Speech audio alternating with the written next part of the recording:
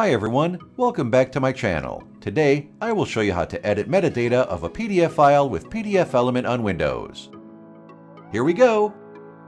First, open a PDF document from the recent file list.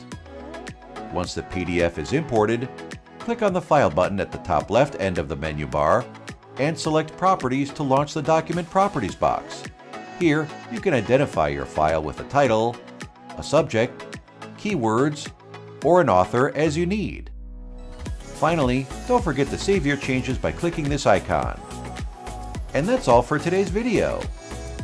If you found this video helpful, please give us a like and subscribe to our channel. Click the link in the description to try PDFelement for free today. Plus, check the rest of my videos for other useful tutorials. Thanks, and see you next time!